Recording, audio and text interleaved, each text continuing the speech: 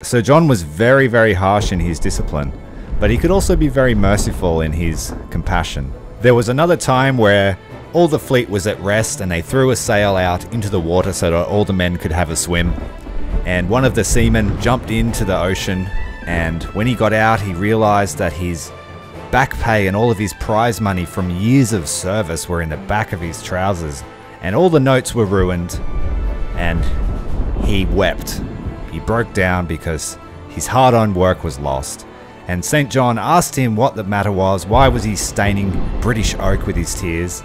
And the man told him what had happened, and Sir John went into his stateroom and came back with 70 pound, which was a lot of money at the time, and it was 70 pound from his own money, and he gave it to the sailor.